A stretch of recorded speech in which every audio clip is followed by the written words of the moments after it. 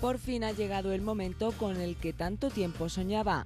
Jaime Cantizano se ha convertido en papá este fin de semana y a través de las redes sociales nos ha querido presentar a su primer hijo. Se llama Leo y ha pesado 3 kilos 600 y ha sido mediante un proceso de vientre de alquiler en Estados Unidos, ya que aún no es legal en España.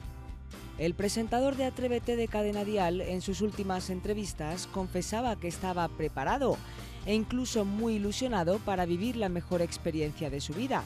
Siento la responsabilidad, eh, lo estoy deseando eh, y además es que eh, existe el sentimiento maternal y existe el sentimiento paternal también.